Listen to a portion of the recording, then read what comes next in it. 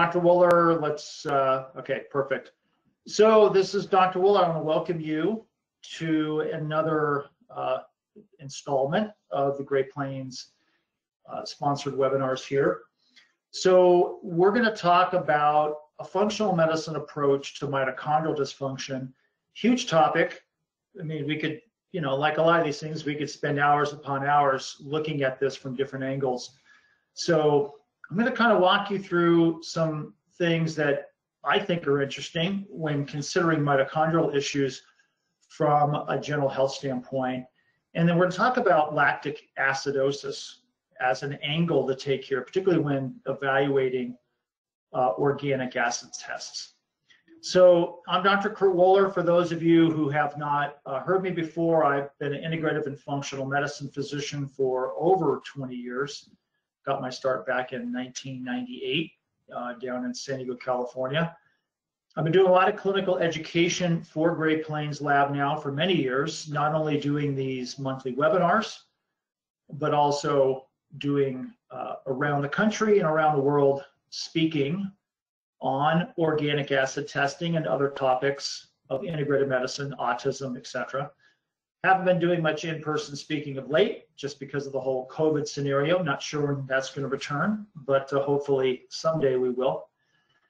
Um, I've also, I'm an active clinician. I've written a number of books. I do my own education. So we actually have our own academy called Integrative Medicine Academy with different online courses in integrative medicine.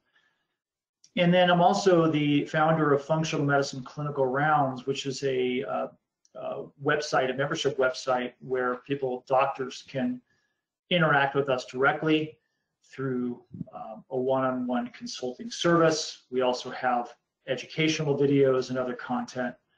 And then I work a lot with the autism population, patients with autoimmune disorders, neurological issues, etc. So when we think about functional medicine, you know, functional medicine, integrated medicine sometimes get intertwined, but functional medicine is an approach to healthcare that is really looking to try to determine the underlying root cause of illness. I mean, integrated medicine does too, but functional medicine, sort of at its uh, you know initial stages, really put a lot of emphasis on detoxification problems. Let me get a different color pen. Digestive issues, hormonal issues, and immune function, how those things relate. And it very much emphasizes how lifestyle, so exercise, sleep, stress management, nutrition, and diet, as well as environmental factors, impact upon these core systems in the body. And if we go way back, I mean, I first start, I first got my my early introduction to these concepts again back to the late 90s actually when I first attended my first autism conference in San Diego, and then shortly thereafter, I had gone to a conference on, at that time it was termed adrenal fatigue and the whole hypothalamus pituitary adrenal axis, and started working with a group of docs in the San Diego area talking about this whole subclinical model of uh, healthcare. Because our medical model is really looking at people who primarily are com coming in with symptoms, and that's primarily who we see in our office as well. But you know, before symptoms ever show up, there's an asymptomatic period, unless it's some kind of acute injury, for example. And dysfunction in the GI system and immune system and detoxification system and hormonal systems will play a significant role in a wide variety of illnesses. So we have to do our due diligence to kind of go back and look at things from a fundamental standpoint. And I've used this slide a lot in my lectures, and that's the chronic stress response. We're all um, vulnerable to this because no matter what kind of stressor we're looking at, whether it's food sensitivity issues or lack of nutrients, malabsorption problems, chemical exposure, heavy metals, physical injuries, head trauma, mental emotional stress, poor sleep, whatever. It all is signaling through the hypothalamus that then communicates with the adrenal gland to output cortisol. And then over time, we start to run into discrepancies between cortisol and DHEA. And then our patients or even us can manifest with dysfunction again at the metabolic level, immune system level. And then we can end up with a host of different diagnoses. So you could pick any one of these and backtrack a lot of things that can go wrong that lead or are linked to this chronic stress response. And oftentimes, I think there's a, uh, and certainly a heavy emphasis on lab testing and supplements and whatnot, which is certainly warranted. But sometimes I think what happens with that is that lifestyle factors, diet, nutrition is somewhat de-emphasized, or maybe patients just aren't interested in hearing it. But this is kind of a classic scenario where we can't get away from our lives. Okay, our patients can't get away from their lives, and and some people handle stress better than others. But in many cases, when you're looking at chronic health problems, whether it's autoimmune problems or chronic GI problems or neurological deficits, chronic fatigue, for example, we're not talking weeks or months of dysfunction. We're talking years from psychological stress to mental emotional stressors to fear to physical body issues. Prescription drugs have a significant impact on mitochondrial activity, diet. I mean, I know I sound like a broken record here to many of you who get this concept, but it's so important, I believe, to just keep hammering home this message that a supplement program, okay, isn't going to overcome a lousy diet.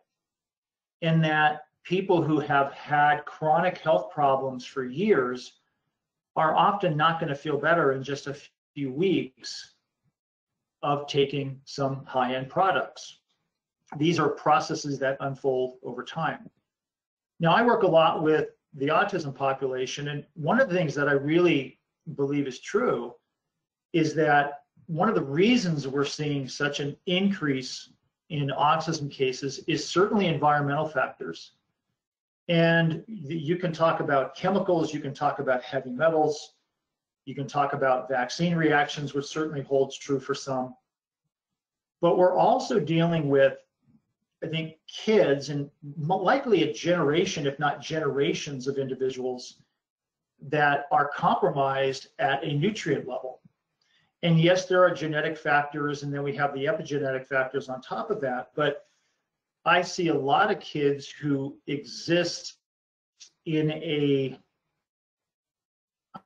I don't even know want to call it subclinical, but you know, sometimes just a, a, severe deficiency state. And if you think of the autism scenario, many of these kids have very limited diets anyway.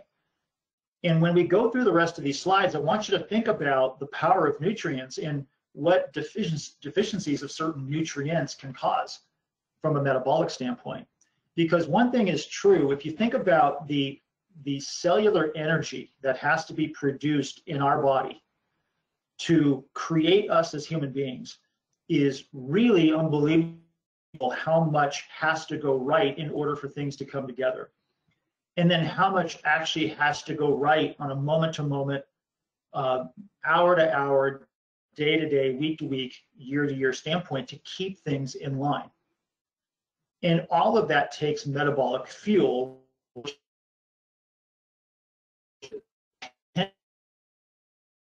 on mitochondrial energy. But the mitochondria are also dependent on the things that we put into our body. And then when you think about people who are then in a state of chronic illness, how much metabolic energy has to go into trying to get them well again. So these are things that I, I think about, and I'm always thinking about these with every patient I'm working with. And let's just take a, an example of, I know all of us have studied aspects of the methylation system, and you know probably some of you have much more experience with this. And there's a lot of emphasis on methylation biochemistry today, and, and for good reason what sometimes gets missed is that the methylation cycle is linked to the folate cycle, is linked to what's called the BH4 cycle. Okay, so all of these systems have an interlinking aspect to them. They're all dependent upon one another. And the influence of these can have tremendous effects on all aspects of our body. If we just look at the BH4 cycle, for example, and the production of different neurochemicals from dopamine to tyrosine to tryptophan to melatonin to serotonin, all have a relationship back to these cycles. But these cycles are also dependent in many respects on mitochondrial activity. So there's actually different enzymes that require ATP to help make that conversion happen. And certainly there are many nutrients that are also necessary from B6 to vitamin C to antioxidants.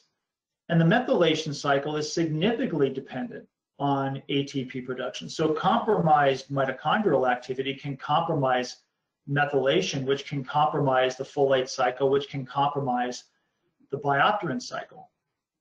And sometimes it isn't all about just trying to fit a nutrient into a certain place, but it's trying to look at things globally and understand how lifestyle, diet, nutrition, when these things are abnormal or deficient, affect things on a global level. so the mitochondria don't exist in isolation either.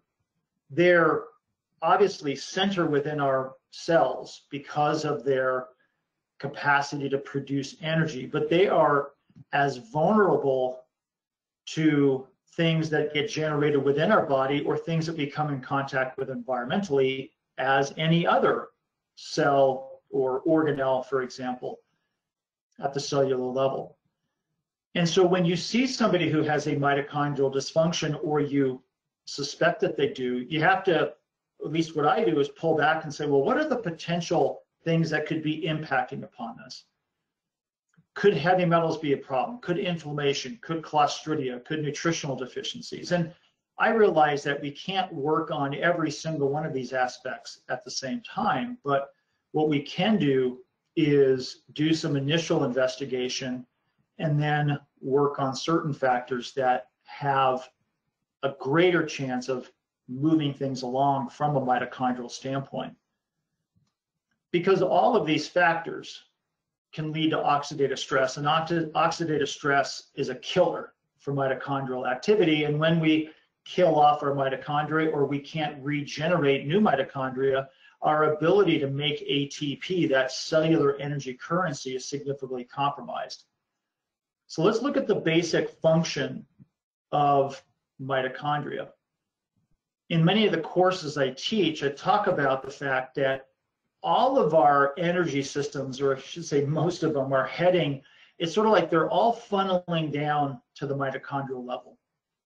From proteins to amino acids, from carbohydrates to monosaccharides to fats to fatty acids, all funnel into these systems whether they create pyruvic acid, whether they go directly to acetyl coenzyme A. These are entry points into the Krebs cycle to eventually um, spin essentially chemicals through the electron transport chain to produce ATP, that all necessary energy currency chemical that all of us need and many people are deficient in.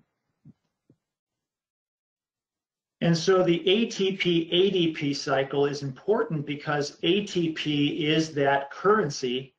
And as it gives off a phosphate, okay, that's when energy gets released from the cell. These things have to be recycled. So ATP becomes ADP, ADP gets recycled to ATP. And we move from catabolic energy producing reactions, so the oxidation or oxidative metabolism of carbohydrates, fats, proteins, to anabolic reactions, which require energy. So muscle contractions, cellular transport mechanisms, compounds, you know, uh, synthesizing different compounds in the body. Folate, for example, folate absorption is an active process. So, and it requires ATP. Thiamine is also dependent on transporters, which require ATP as well. And one of the things of how I describe to patients the process of burning carbs, fats, and proteins is I give the analogy of, of going on a camping trip, right? So let's say you're out camping and you want to sit around and have a little campfire. Well, the first thing you do is you go out and gather up small twigs and dried up leaves.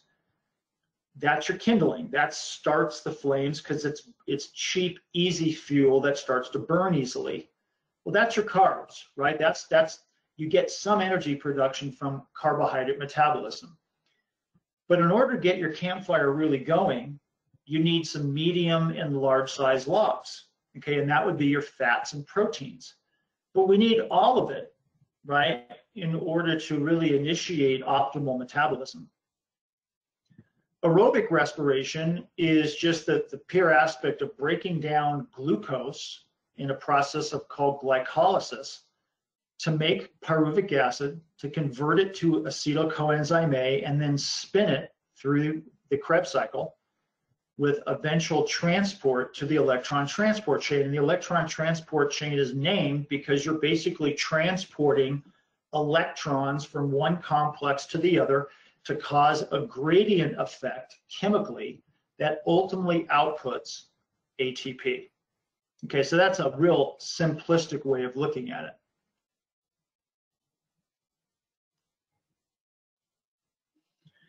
We could get much more complex. We're looking essentially at a larger diagram of the citric acid cycle, also called the Krebs cycle.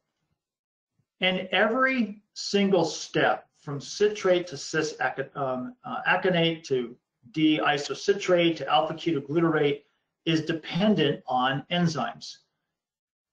And many of these enzymes are dependent on nutrients, various B vitamins, for example.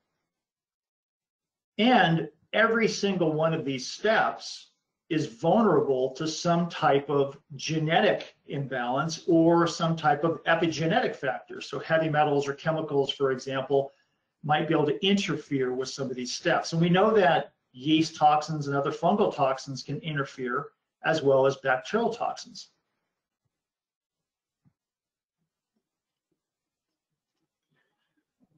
It's a little bit hard to see on this diagram, but you know this diagram does a pretty good job. It just kind of showing us what some of the nutrients are that make all of this work. So for example, the first stages of the citric acid cycle, okay, actually require iron. And they actually require glutathione because there's a, a very complicated um, iron relationship to the function of those enzymes. And if we don't have good glutathione status, it can actually cause oxidative stress that damages these enzymes. But various heavy metals can interfere, from arsenic to mercury. Um, aluminum, for example, can interact at various steps as well. And then we have certain enzyme complexes which require a lot of different nutrients that you'll be surprised many people can be deficient in either because they have a very long-standing poor diet or poor absorption within the digestive system. At the electron transport level, so we're basically looking at the mitochondria. So we've got two membranes. We've got an outer membrane and an inner membrane.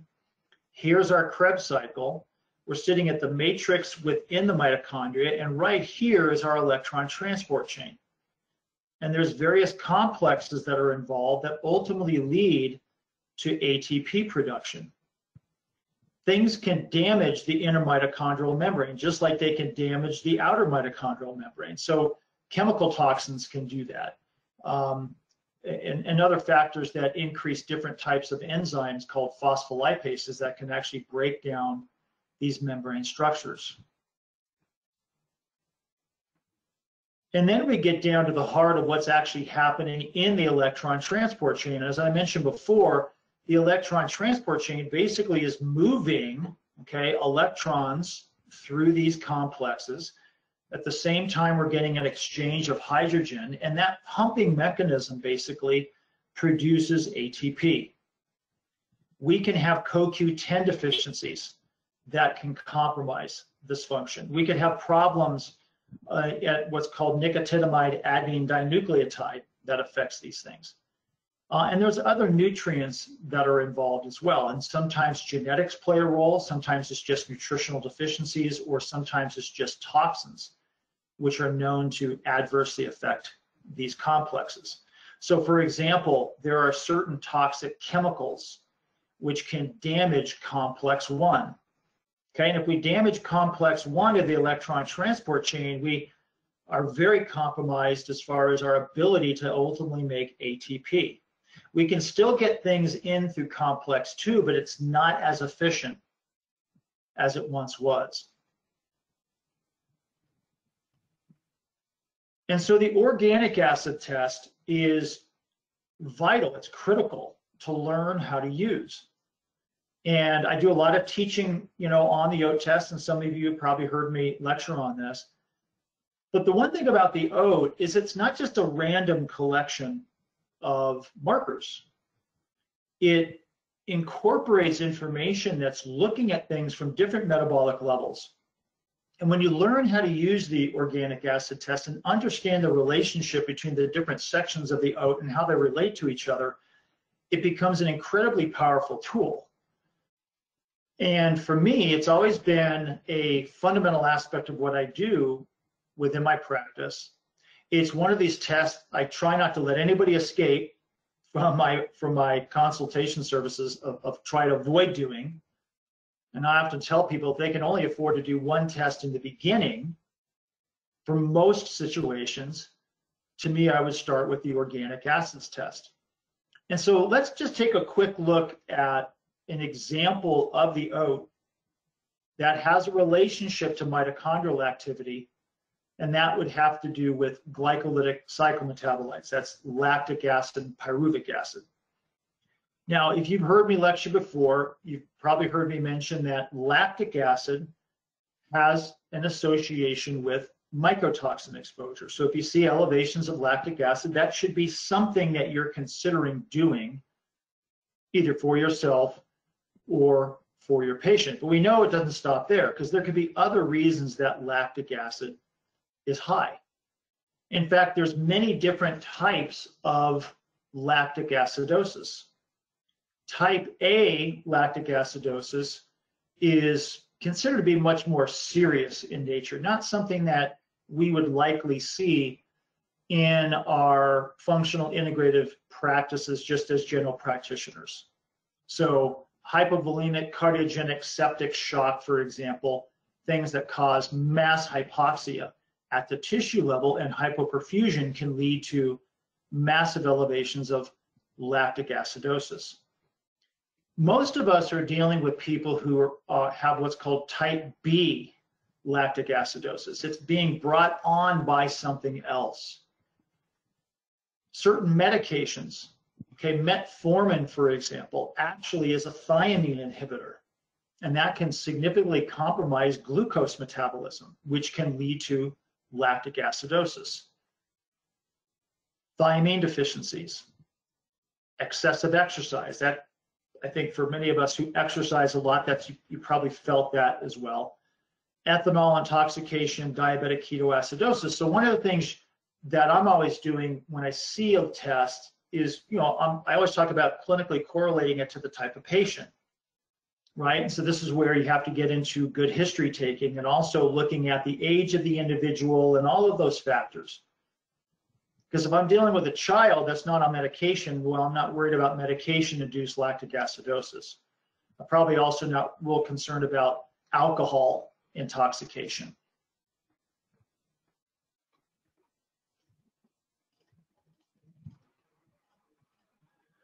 So lactic acid is an organic acid that all of us produce, and it's a byproduct of glucose metabolism derived from the production of pyruvic acid. Pyruvic acid, again, is another organic acid that's linked to glucose metabolism through the glycolytic pathway. Now, pyruvic acid can also go off and become acetyl coenzyme A, which is what we need to enter our Krebs cycle. But acetyl coenzyme A is also linked to fatty acid metabolism. It can be linked to other things as well. If we look at a basic diagram of glycolysis, So we start with glucose and we basically convert it to different steps. At one point back in college biochemistry, I had every single one of these pathways memorized. It's not really necessary these days, although it's maybe a point of interest for you. But glucose gets broken down and becomes pyruvic acid.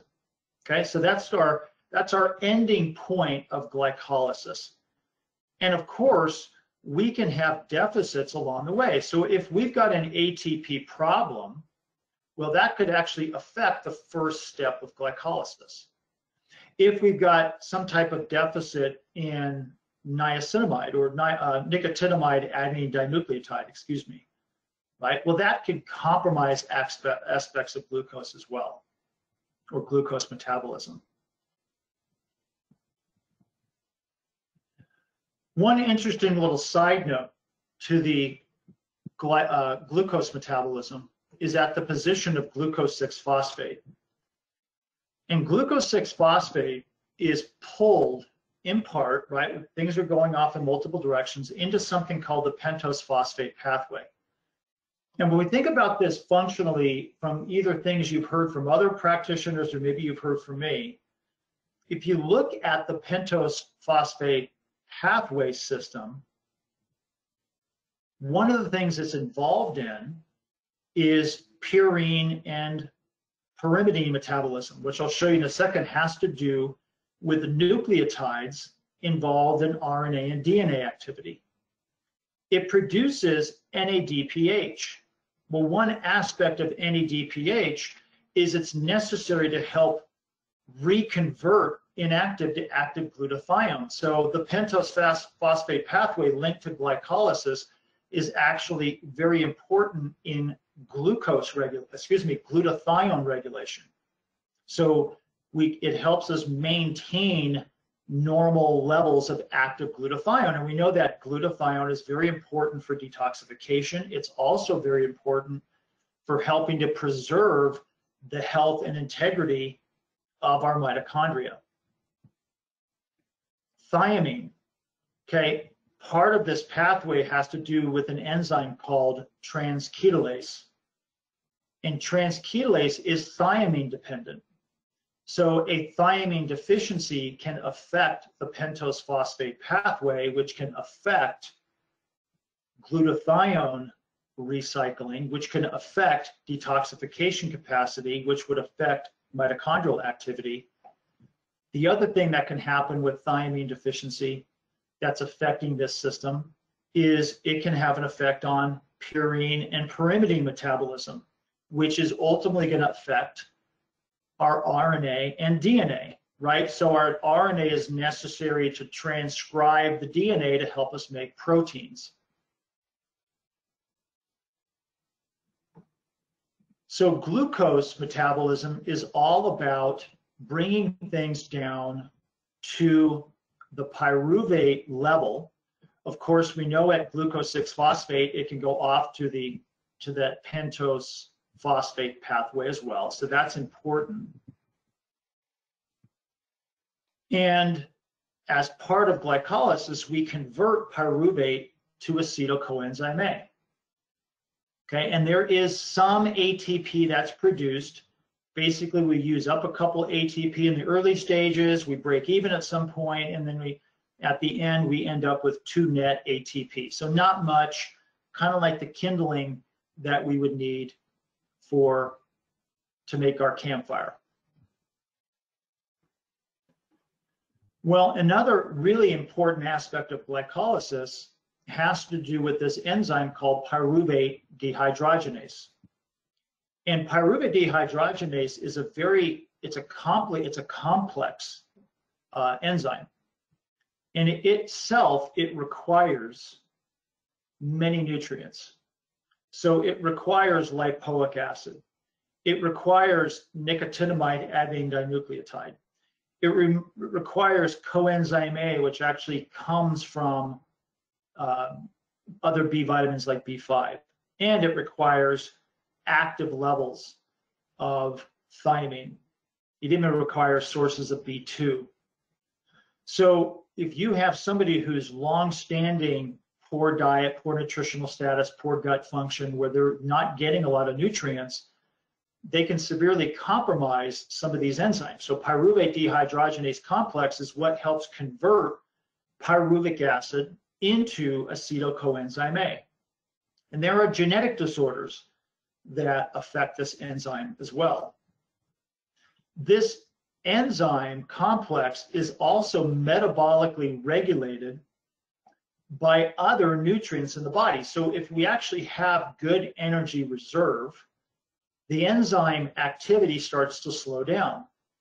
But if our energy reserves are low, so let's say our ATP levels are low or our body is needing more ATP to be produced, it will actually stimulate more active pyruvate dehydrogenase. So there's this regulatory system over this, the function of this enzyme. And this enzyme, like other enzymes, is also vulnerable to toxins. Arsenic, for example, can alter it. And the reality is, is probably other kinds of compounds too. You know, certain fungal toxins and bacterial toxins may also affect these enzymes. The thing is, is that pyruvate dehydrogenase in the complex of nutrients it requires to work, that complex of nutrients is found elsewhere in the body. So alpha ketoglutaric acid dehydrogenase, which sits right here in our Krebs cycle, is also dependent on thiamine, B5, riboflavin, lipoic acid. And I should say here magnesium because thiamine and magnesium go together. So we can end up kind of really decreasing Krebs cycle function, overall mitochondrial activity because of nutritional deficiencies at various levels. And of course, there can be genetic mutations that can occur in some of these enzymes too. Those are less common. Those are more common in what are called inborn errors of metabolism. But again, these systems are, are vulnerable as well to different types of toxins. So it's, it's always thinking about these things clinically. Well, what else may be inhibiting these things from functioning? It gets even more deeper than that. So now, one of the other aspects, we just talked basically about glucose metabolism.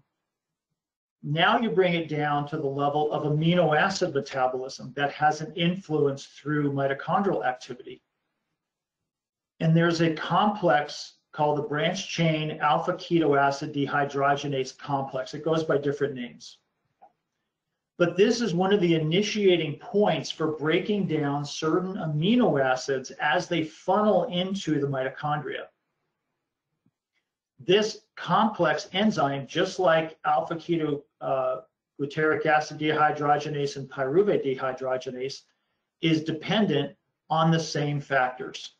Thiamine, lipoic acid, B5, B2, nicotinamide adenine dinucleotide.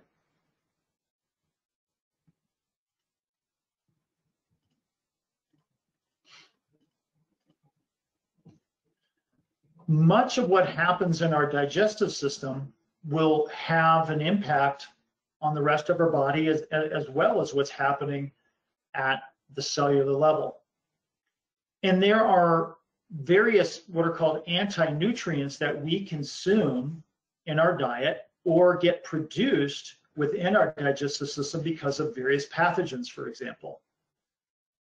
So they've known that things like different phenolic compounds, and one of the things we've talked about before when you look at organic acid testing as far as uh, phenols linked to Clostridia bacteria or other bacteria, they themselves may negatively impact the function of the gut and might even themselves have some inhibiting effect on absorption.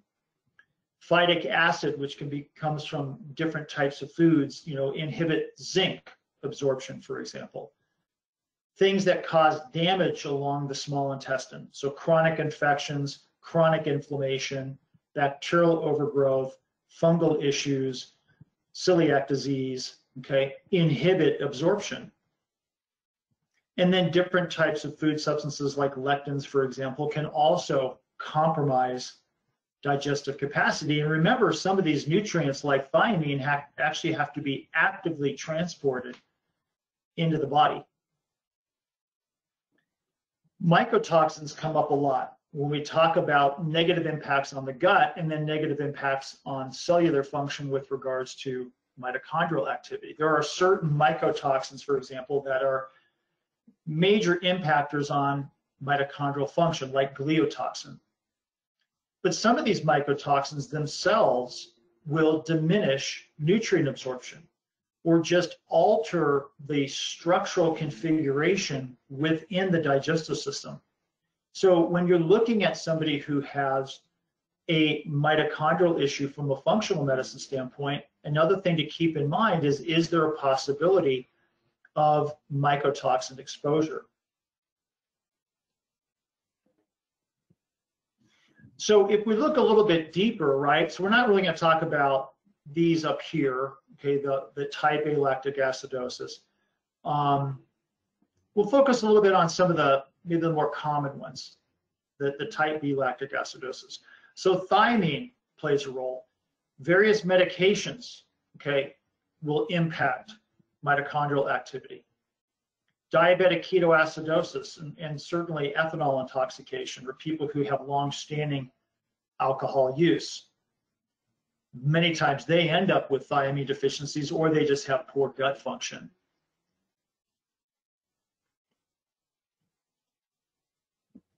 So lactic acidosis is what's called a high anion gap metabolic acidosis. Basically, that's just a calculation between um, uh, uh, CO2, potassium chloride in the body. But basically, this gets produced or occurs because of an overproduction of lactic acid. We, we've already looked at a few of the reasons. Okay, we're not going to talk much about D-lactic acidosis that's linked to a short bowel syndrome. So let's just kind of focus on what's most common. So we know that the type A version is most serious, right? Hypovolemic shock, cardiac insufficiency, septic shock, you know, ischemia, you know, these types of things. Type B is something that we would more likely see. Okay, that could be from vigorous exercise, that could come from different medications, for example, that affect blood sugar metabolism or affect liver function. We know that thiamine deficiency, we know that mold exposure can be linked to this type of lactic acidosis. And so when you when you look at acidosis in general, right, we're basically either retaining or producing too many acids. We're holding on to too many hydrogens as opposed to hydroxyl groups. And so the, the pH of the system becomes more acidic. And if you look at the pH of blood, roughly at about 7.4. So an acidic type of environment would be less than that. So seven being, being essentially neutral, we've got an equal amount of hydroxyl uh, with an equal amount of hydrogens. So in an acidic situation, our pH is on the lower end of the scale. And we know that lactic acidosis can, again, occur for, for many different reasons. Acidosis in general can occur from different disease conditions as well. So renal diseases, for example, and then, you know, what's actually relatively common, depending on the patient population you work with, is diabetic ketoacidosis. So amino acid metabolism into the mitochondria is very important as another aspect of producing ATP. Because if you break it down again between the whole campfire scenario, you've got your kindling, which is your carbs, then you've got your medium sized to large sized logs, which are your protein and your fats. Well, another aspect of this is, is protein or amino acid metabolism at the mitochondrial level. And things like leucine, valine, and isoleucine, which are called branched chain amino acids, are also at, through their metabolism end up producing acetyl coenzyme A. But they can also produce other types of ketogenic compounds. And this is where people who are on a ketogenic diet, for example, will often produce a lot of organic acids such as acetoacetic acid or something called beta hydroxybutyric acid.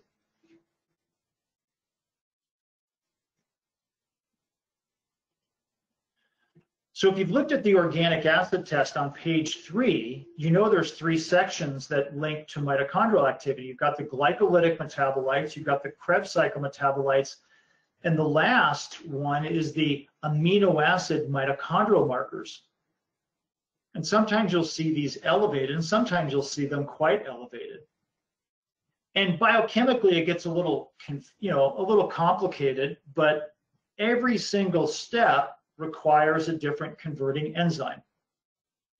And on the GPLO, you know, they will list certain ones that are actually linked or are most commonly seen with different types of enzyme deficits.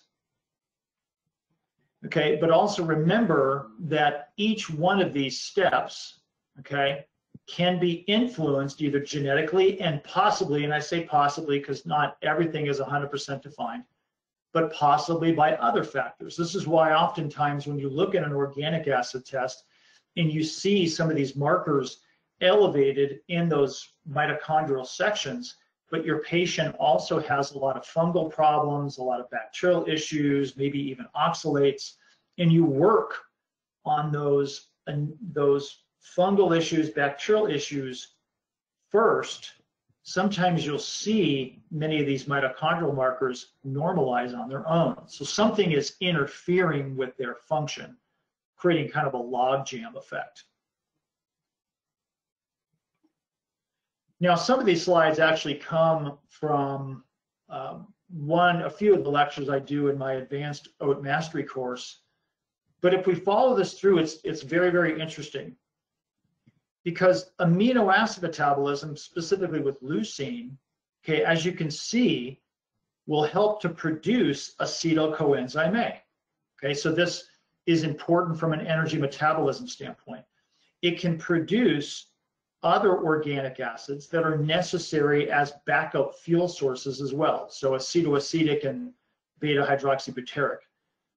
But isn't it interesting that it also has an influence on cholesterol?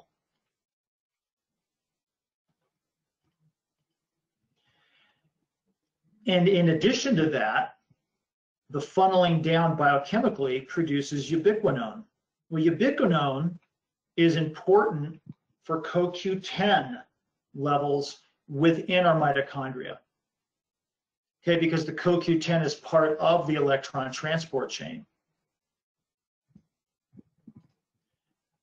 And so if we have some kind of block that's occurring either higher up right? So branch chain amino acid aminotransferases, right? Right there, that enzyme complex is dependent on thiamine, magnesium, B2, B5, lipoic acid.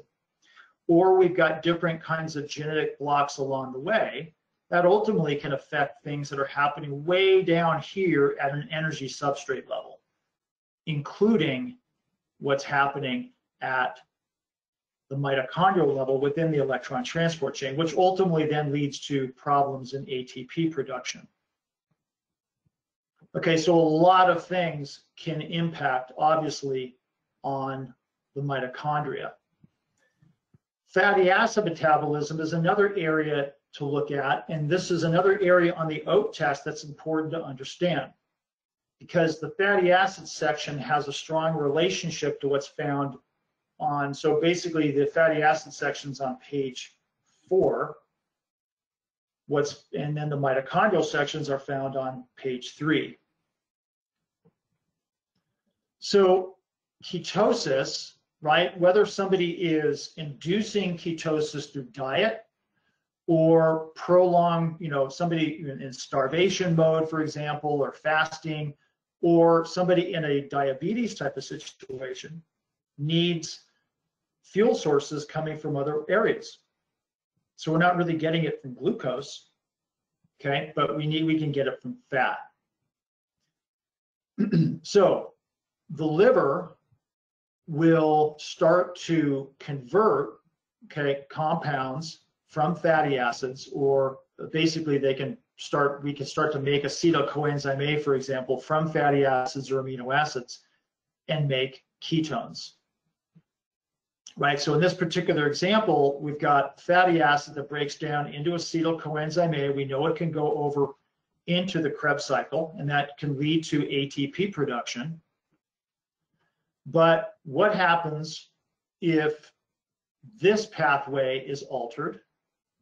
Well, we still need energy. And what, what in our body needs a lot of energy? It's our brain or nervous system. In fact, if you look at the metabolic needs in the body, the brain and nervous system has the highest demand okay, of any system. The cardiovascular system requires a lot too, as well as our digestive system. And if you take this even further and think about people who have, um, you know, just poor ability to cope with various mental emotional stressors, or are manifesting with um, neurological types of problems, or perhaps manifesting with dysautonomic type of scenarios where the autonomic nervous system is compromised. In many cases, they're they're dealing with energy production problems. Because even the autonomic nervous system, the parasympathetic and sympathetic nervous system requires a tremendous amount of metabolic energy to function properly. So as we move fatty acids, okay, will eventually produce acetoacetic hydroxybutyric acid, for example, and these are measurable on the organic acid test. Will also produce at times acetone.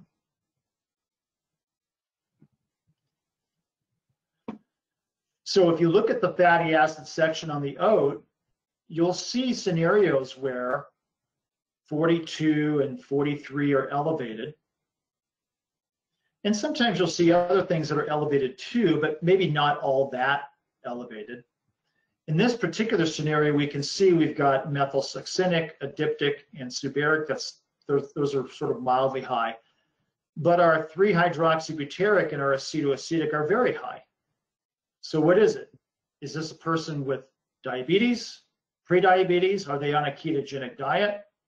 Do they have poor absorption? Are they dealing with some kind of carnitine deficiency, for example? Well, some of that can be acquired through, you know, clinical history, history taking, good examination.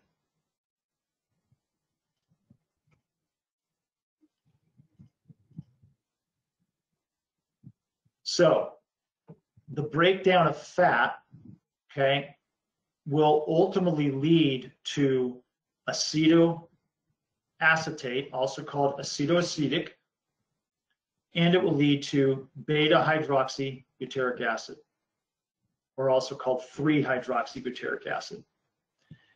The acetone that gets produced, I actually had a consult a couple weeks ago in a child that had uh, acetone breath smell. Their, their breath smelled like nail polish.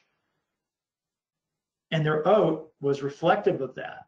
Okay, so they were in a ketosis type of scenario, but they were not on a ketogenic diet. So something is affecting glucose metabolism. And so they're having to convert substrate in the body in order to produce energy elsewhere. And what is very common in a lot of kids is, is a either some kind of genetic defect of the pyruvate dehydrogenase or combination of factors, either genetic problem in that enzyme along with nutritional deficiencies.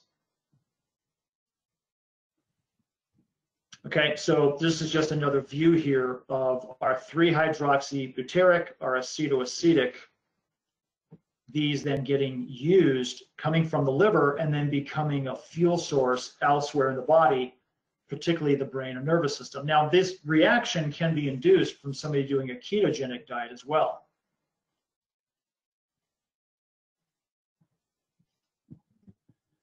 So 3-hydroxybutyric, okay, the first marker in that section of the fatty acid metabolism,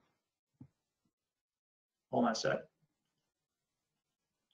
Yeah, it's the first marker. So 3-hydroxybutyric and acetoacetic.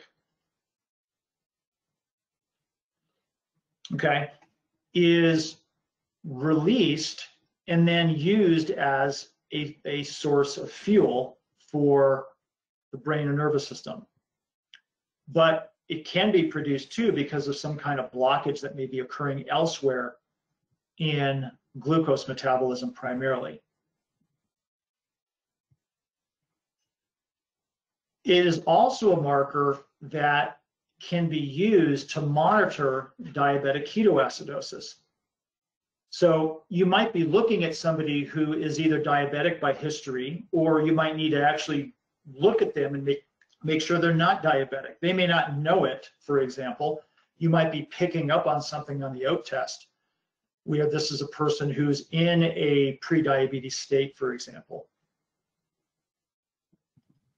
Acetoacetic okay, is also linked to these pathways. So basically for the much of the same reasons as the 3-hydroxybutyric is. And the, the acetoacetic is what gives us that acetone. Not everybody's going to have acetone nail polish breath. This particular child does.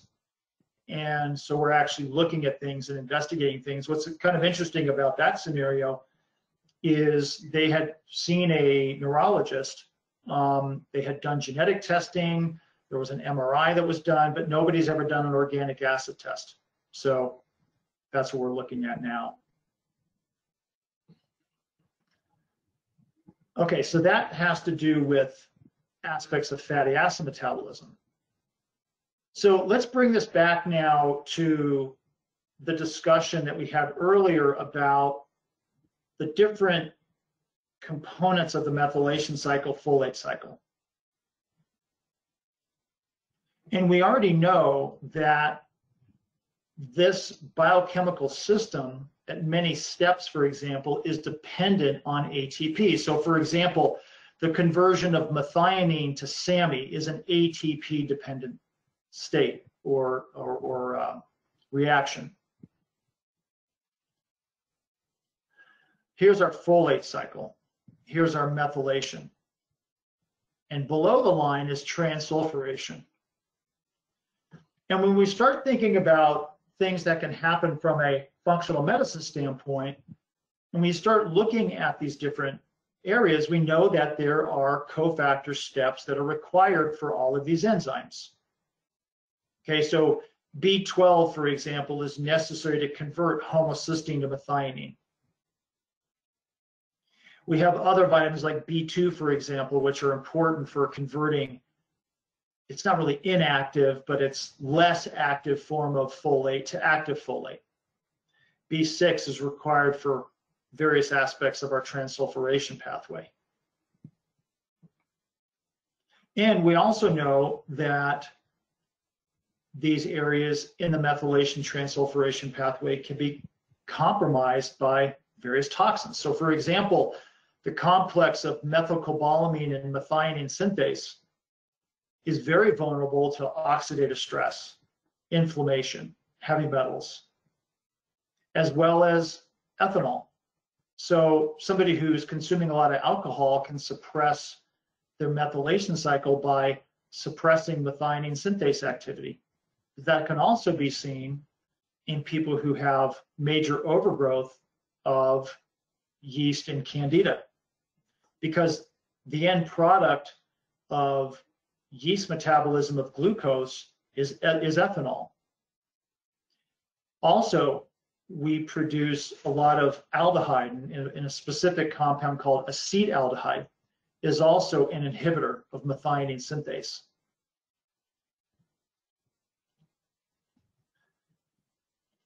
And then right here below this line is our transsulfuration pathway right? So one of the things that gets produced in transsulfuration is glutathione.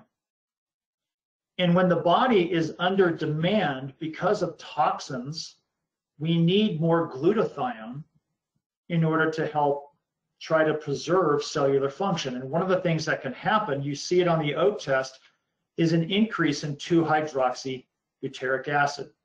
So that's a common scenario increased demand for glutathione, it causes a pull on homocysteine, okay, and we end up getting increasing amounts of 2-hydroxybutyric acid.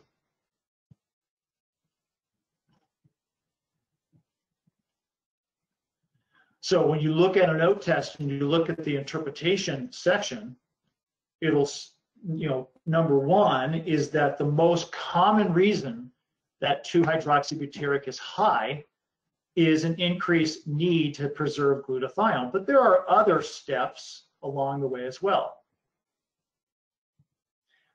So look at this scenario. We've got elevation of 2-hydroxybutyric, but our pyroglutamic is normal. So if you've heard me lecture before, you know that pyroglutamic, when it's elevated, would indicate a deficiency of glutathione.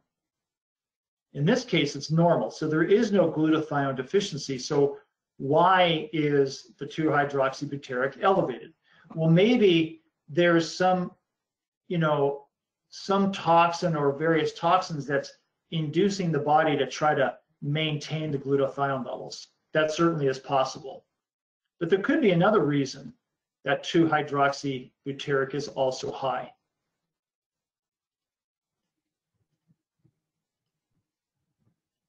Okay, and that is the onset of diabetes. Alcohol use could also be, but let's look at it from a glucose standpoint. 2-hydroxy um, butyrate or 2-hydroxybutyric acid is actually an early marker for both insulin resistance and impaired glucose regulation. So it's often found in people who are dealing with lactic acidosis, and it's been seen in more severe states of acidosis called diabetic ketoacidosis. And so it's actually a marker for impaired glucose tolerance. And so when you look at an organic acid test, it's not just hyper focusing on one marker, but it's looking at all of the markers and, and lining them up and looking at relationships in the context of your patient. So this is actually somebody who has a history of early onset diabetes. And so we not only have a lactic acid elevation, okay, which we know can occur. Yes, it could be from mold, for example. Yes, it could be from vigorous exercise. Doubtful in this person. Um, in fact, it wasn't the scenario. And there's other reasons it might be high too. But we have very high levels of the 3-hydroxybutyric and the acetoacetic. So basically, we're getting some kind of problem within glucose metabolism. Okay. We're also now starting to break down fat and protein, which is leading to increases of 3-hydroxybutyric and acetoacetic. Notice also that suberic is elevated. Now, suberic is often elevated because of an overnight fast, but it comes from oleic acid. And oleic acid is the main form of, of fat stored in our adipose tissue.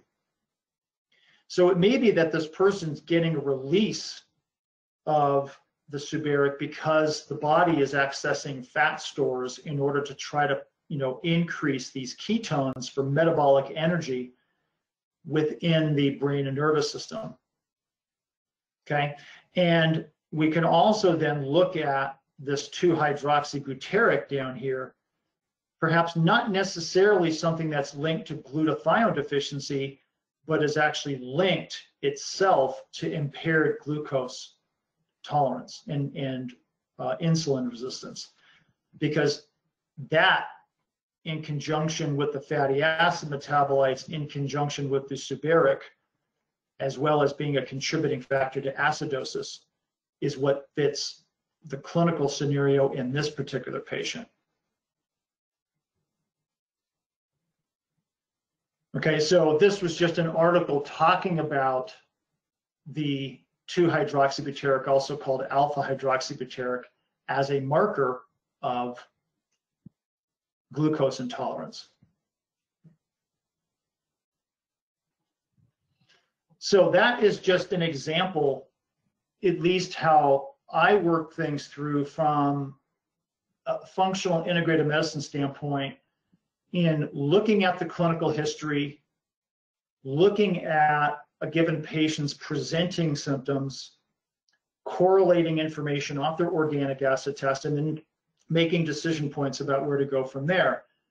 And if we take the scenario of diabetes, right, the vast majority of diabetes, particularly in this country, is lifestyle induced. It's not to say that there aren't other forms, right? Type 1, for example, but type 2 is very much linked back to lifestyle issues from lack of exercise to poor eating habits to poor nutrient status, etc. You pile on top of that chronic alcohol use or other chronic infections, and you start to create a nutrient deficient type of state that for many people exists for years and years and years to eventually where things start to break down and manifest in many cases as serious illness. Okay, so that that's my information here is just kind of an example of a functional medicine approach thinking about mitochondrial issues. Um, we actually talk about these concepts in our essential organic acid mastery course, what's called the essential OAT mastery course. This course is about the fundamentals of recognizing the most common markers seen on the OAT test, and then looking how to interpret them, how to clinically apply them, and looking at other segments on the OAT. We actually have a new version of the Essential OAT Mastery course starting on Monday, August 17th. So if that's of interest to you, there's a website, essentialoatmasterycourse.com. You can also text EOAT to 66866 and get some uh, downloadable information on the Essential OAT Mastery course too. Now, some of this information I presented here comes from a few of the lectures that I have in my Advanced OAT Mastery course. Uh, and this course is available now. We're actually currently in the middle of it, but people can join it at any time. Um, and you can get more information about the Advanced OAT Mastery course at AOAT texted to 66866. The recommendation is, is the Advanced Oat Mastery course is really for people who've been through some type of training on the organic acid test from Great Plains Lab or you've been working with the OAT test in your practice for quite a while, feel pretty confident with the fundamental information, and you want to take it to another level. So the advanced OAT mastery course is an advanced level as far as information goes on the use of this test. Also, if you are interested in interacting with me one-on-one, as well as my partner, Dr. Trancatella, we have a website called Functional Medicine Clinical Rounds. This is for healthcare practitioners. So we provide one-on-one uh, consulting and mentoring through this service, where people can schedule with us on a week-to-week -week basis if they like to go over lab testing, um, case reviews, clinical troubleshooting, we also have monthly uh, clinical, what's called a clinical rounds, where we go through lab tests or present a specific case history of uh, various topics. And then we've got videos that are also being created on a bi-weekly basis, lab reviews, case studies, um, research article discussions. Uh, and then we're adding new content to this all the time. So functionalmedicineclinicalrounds.com. It is a membership site. You can get more information at that website. There's also a forum, so people can interact with us directly through an online forum as well. So all of our clinical rounds, by the way, are recorded and held within the website along with the videos, and you can actually book consults with us through this website too.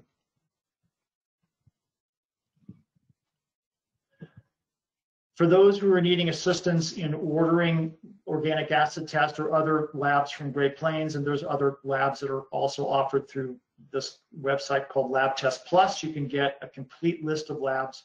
Every lab comes with a uh, written interpretation of relevant markers. So for more information, you can go to labtestplus.com. And then I'm also available for private consultations. So through my private practice, you have a there's my phone number. Our email is the best way to contact us at scmedicalcenter at gmail.com. And our practice website is mysunrisecenter.com. So the way this works, if any of you submitted some questions, Great Plains will send those to me usually within a day or two. I'll do my best to answer um, some of them, you know, via, back via email. Sometimes the questions are you're fairly complicated and I, I, can't you can't get into a, a real in-depth, but I'll, I'll do my best to answer your questions as best as possible. Okay, everybody, thanks so much for your attention today. I appreciate it. I'm Dr. Kurt Woeller. Take care. Have a good day.